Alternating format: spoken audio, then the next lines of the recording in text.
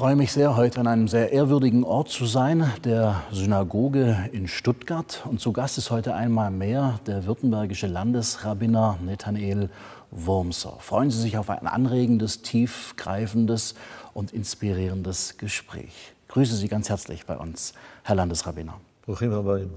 Zu einem Rabbiner kam einmal ein junger Mann und bat ihn, der Rabbiner möge ihm den Sinn der Tora, die Botschaft der Tora erklären, während er auf einem Fuß stünde.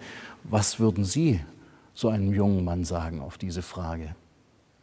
Ich würde differenzieren zwischen einer Begegnung, die einmalig ist, mhm. und zwischen einer kontinuierlichen Form der Begegnungen, wie sie ein Gemeinderabbiner gewöhnlich hat.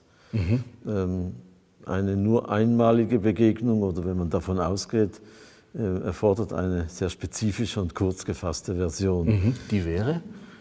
Den Menschen in seiner Situation zu erfassen und dann ihm den richtigen Rat auf den Weg zu geben.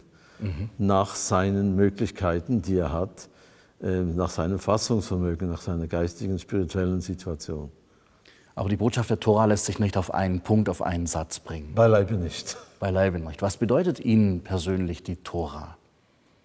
Die Tora ist die Herstellung der Verbindung äh, des Schöpfers mit dem Menschen.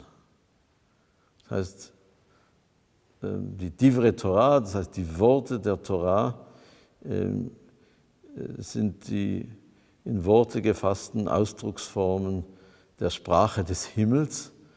Und äh, jeder Mensch, jeder, jede jüdische Seele ist dazu angehalten, sie fleißig zu studieren, tagtäglich, das ganze Leben lang.